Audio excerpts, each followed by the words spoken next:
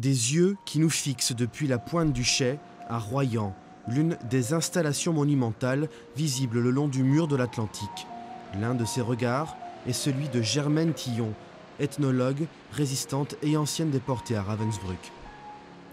Cinq œuvres en tout ont ainsi été créées en écho aux traces laissées par la Seconde Guerre mondiale le long de la côte. Les anciens blocos, par exemple, ici surlignés d'une simple ligne blanche posée juste au-dessus de la ligne d'horizon. Geste audacieux de l'artiste, tire-t-il un trait sur le passé ou le surligne-t-il, à moins qu'il ne l'apaise, en brisant la masse de béton d'une manière poétique?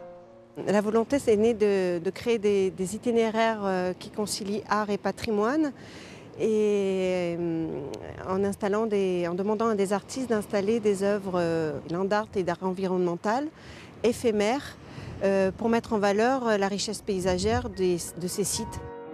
Aux visiteurs de se laisser porter par les choix opérés par les artistes, comme ici cette installation Mémoire, j'écris ton nom, allusion au poème de Paul Éluard, Liberté, l'un des symboles de la résistance.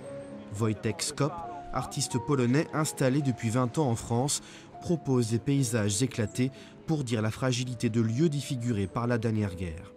Je pars de la photo, n'est-ce pas, pour finalement, euh, mon but c'est détruire la photo et ne pas euh, les transformer. J'enlève par exemple le ciel, je le peins, j'utilise pour sa gravure, dessin, etc.